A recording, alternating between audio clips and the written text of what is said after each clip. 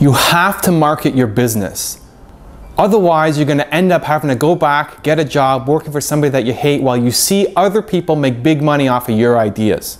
Hi, I'm Evan Carmichael. I believe that hungry entrepreneurs deserve help. And today I'm answering a question from one of my newsletter readers named Victoria. Victoria wrote in to say, Hi Evan, out of your inspiration, I started a kindergarten and daycare school in my home area. Well, I'm glad I could have that impact. This is awesome. We opened in June and now have seven students. How do I promote my school better? Victoria. This is exciting. You know, I love seeing entrepreneurs start up out of especially my inspiration. So thank you for writing in to let me know. To your question, how to promote your school. Two things that I have in mind for you. First, great job on already getting those seven students you need to provide an amazing service for these guys. Okay, you need to make this the best kindergarten or daycare program around because you need the parents to tell each other. Word of mouth is so powerful for an entrepreneur, especially when we don't have huge budgets to go out and spend on marketing. You need the parents talking about it. And it's not good enough just to provide a good service. You have to go way above and beyond to get the parents talking about you. So think about what you can add as part of your program that no other kindergarten or day daycare program does. Give the parents something to brag about because parents love to talk. Give them something for them to say, oh, well, in my kindergarten or in my daycare program, they do this and they do this and they do this. The parents want to brag. Parents love comparing their kids. You want to give them that ammunition. So think about it. It doesn't have to be that hard. It doesn't have to be anything that costs you a lot of money. But think about ways that you can give the parents something to brag about so they'll go and tell their friends about how great a service you have.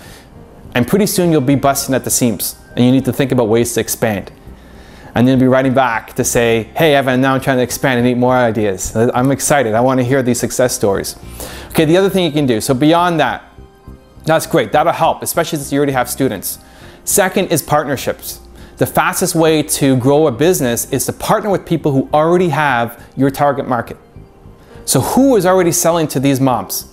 Local businesses, anybody you can think of who already has a connection to the parents that you're trying to reach and introduce yourself. Try to make a, a partnership and it can go both ways.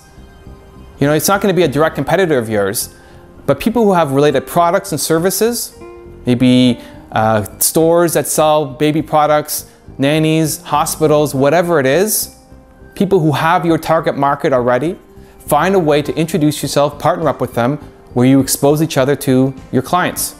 And if they believe in it and they talk about you, they'll introduce a huge amount of new business to you. And instead of having to convince customers one by one by one by one about how great you are, your organization partner does it for you. And they bring a constant stream of new people into your business. So good luck. Those are my two tips for you. Over deliver like crazy, give the parents something to brag about so they'll drive new traffic for you and partner up with related companies who are servicing your target market and have them help promote you. Thanks for watching everybody. You like this video, you know the drill. Give it a thumbs up below. I love seeing those come in and I really appreciate it. And hey, I wanna hear what you have to think. I love your comments on this video and I wanna hear what your questions are for your business as well. Please leave it in the comment section below. I really do read everyone that comes in and it makes my morning every time I see them. So thank you and I'll see you on the next episode.